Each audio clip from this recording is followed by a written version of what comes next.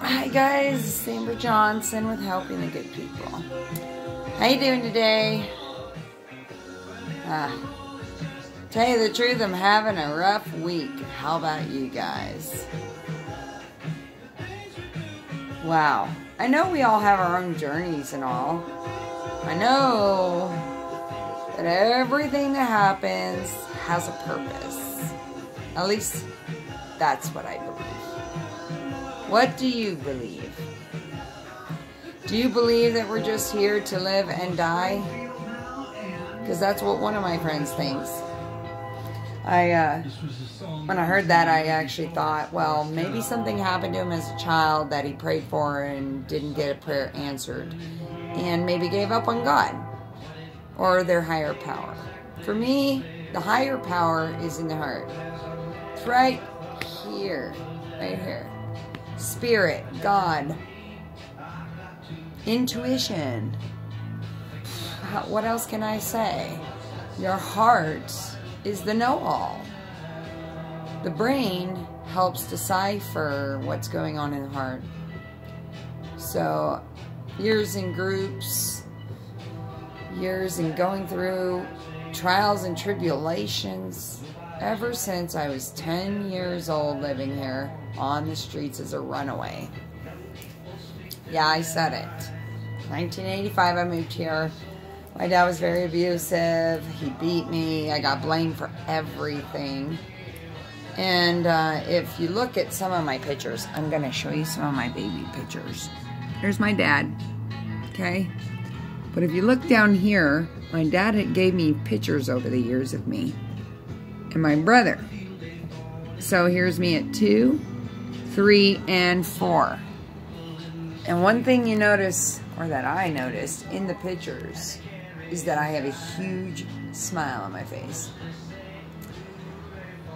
Abuse, violence, beating, sexual abuse, and I had a smile on my face. Just like now. Wounding goes deep, guys. Did you know that in my um, school for massage, the first thing that they taught me was that nobody in the world is ticklish. No one. If you're ticklish, you have tension built up in that area. Funny, huh? I was like, yeah, right. Anyhow, I thought I'd share that with you. And also that the back, all the knots that you carry in your back, did you know that it carries all the way back to the womb? The womb, okay? Say your parents had you, you know, and were forced to have you, okay? They had no other choice but to give birth, right? And they didn't want you. You carried that. That thought, that emotion, whatever was going on at that particular moment in conception, you carried that with you the rest of your life in your subconscious. Look it up. You don't believe me. I didn't either. Talk about a, a teacher of 35 years at uh, Carrington College. Yeah. Uh, so those memories in your back, those knots in your back, they are memories that are stored. My back has been killing me. I need a big massage. And uh, I've been carrying a heavy burden, a heavy load for so long. Everyone thinks that my life is just so happy and, you know, you get around me and I'm smiling and people can tell when I'm having a bad day, you know. And I'm okay with that. Um, I like to talk now when I feel like it instead of just blabbing and sometimes when I get worked up over something. I can't help but talk. But guys, just so you know, I sit at home. That's why I stay home. I don't want you guys to be involved in my, you know, bad day. It just rubs off on you. Just like when you're having a bad day or someone's negative or evil and they just come around you. You know how you just feel sick and you just want to leave? Or you get home and you're tired? I don't want that. Nobody wants that. I wouldn't wish that on anybody, guys. I guess in a way I'm just blabbing here. I'm just being authentic. I'm uh, being as transparent as I can um, about me. You know, Amber Johnson helping the good people. Woo, look what she's doing. Not doing anything, guys, really. I mean, I get invited somewhere, I show up, and I see love and I express it. Um, I see a good band and I go up and I go, oh my god, that was awesome. What's your name? And I get their business card now. because, you know, it's just, it's amazing. What can I say? The more I talk to people, the longer the years go by, my voice, my thoughts have been all twisted up, so forgive me. People like to call it off Blame it on Mercury re retrograde. See, can't even say it. anyway, this is me being goofy. Um, see, I already forgot what I was talking about. Uh, I'm just talking here, you know. I figured, what the heck. Tired of just coming on here and saying, oh, look who's playing music. Or talking about domestic violence or whatever. You know, I did start the channel for all that. Was to speak on this stuff. So, I'm kind of glad that I'm getting back to my roots of what I started helping the good people for, which was to talk to you guys. To talk about my story, to like enlighten you, encourage you, uplift you. You know, we all need that. If you're still watching, please uh, like, subscribe, and share to my channel. Um, I've been working on my PayPal account to be able to link it for donations below.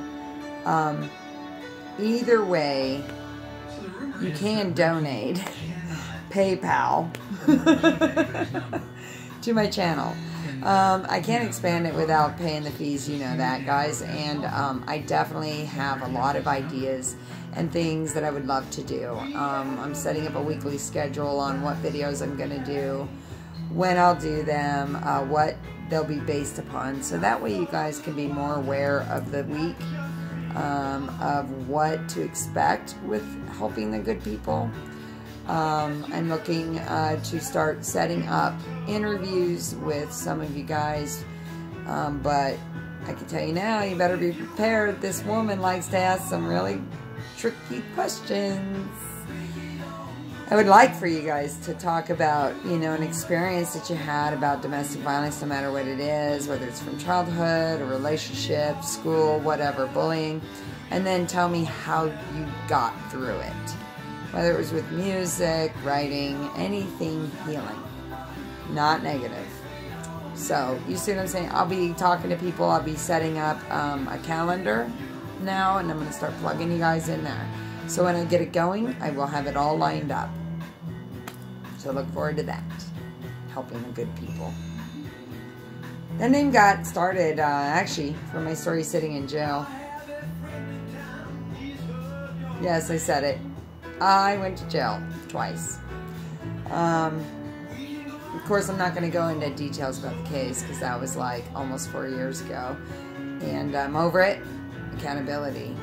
Everything has already been there my karma was definitely handed to me on a silver platter. So um, while I was sitting in jail there, I, I met a lot of people who were going through a lot of the same kind of things um, that I've already gone through, so I was able to help them. Um, and write, I taught some people how to write letters uh, to CPS about their kids, to the news about domestic violence going on inside the jail. Um, you know, um, how to um, write letters to voice themselves in other areas. Um, yeah, it just flourished. See, that's the thing about experience, guys. You can use your experience to help someone else. Saying goes, our life isn't ours. All our all our experiences that we're going through right now is to help someone else later on. And I don't believe that 100% because we definitely have to have the connections, but I do believe that we're all here to learn lessons. And we're all here to meet each other, no matter what the circumstances are. no matter. Like for me and my situation with my kids, I've been dealing with this stuff for 14 years. And today was the first day that I got to actually talk about that with the judge on a protection order hearing that my ex is con- contested. Good, that's over. I was my own attorney again, you know, it's pro se. But I got to speak on the cycle of domestic violence and how it affected me and my family and our children, you know. And uh, even though it's been 10 years and the kids are still not with me, I'm wondering, and I have spent years asking God, why did I have children? Why did I do all of this to be taken from them, ripped from them, forced to be alone? Well, mentally, emotionally, physically, financially, you know, I wasn't ready. I couldn't take care of them. And that is the truth. I can admit that now. Back then, when I look back, I'm like, yeah, I prayed for that.